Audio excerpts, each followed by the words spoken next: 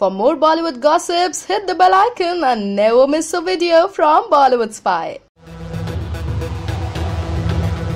आमिर खान ने चाली अजय देवगन के साथ बॉक्स ऑफ़िस क्लैश जब हर कोई आमिर खान के सीक्रेट सुपरस्टार और अजय देवगन के गोलमाल अगेन के बीच इस बॉक्स ऑफ़िस क्लैश के नतीजे को देखने के लिए दिन गिन रहा है तभी खबरों का दावा है कि इन दोनों फिल्म्स ने चोरी छुपे इस क्लैश को टाल दिया है बता दें जबकि सीक्रेट सुपरस्टार और गोलमाल अगेन दोनों ही फ़िल्में दिवाली के दौरान रिलीज़ हो रही हैं, तभी इन दोनों की रिलीज़ डेट्स अलग अलग हैं। जी हाँ दरअसल आमिर खान की film secret superstar 19 October release हो रही है तो वहीं अजय देवगन की फ़िल्म गोलमाल अगेन 20 अक्टूबर को रिलीज़ होने वाली है समीक्षकों का मानना है कि इस एक दिन के गैप से दोनों ही फ़िल्मों को फ़ायदा होगा तो दोस्तों आपकी इस बारे में क्या राय है? हमें अपना सुझाव बताएँ और कमेंट करें। और भी मसालेदार फिल्मी अपडेट्स के लिए सिर्फ़ और सिर्फ़ बॉलीवुड स्पाई और जूही के साथ बने रहें।